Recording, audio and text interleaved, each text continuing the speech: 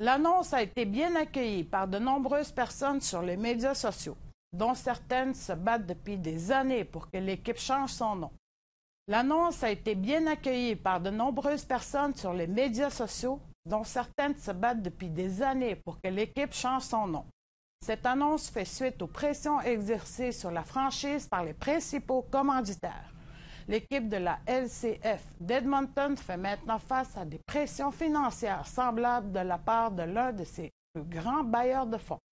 TSN annonce que Edmonton a décidé de changer leur nom, mais Edmonton refuse de commenter.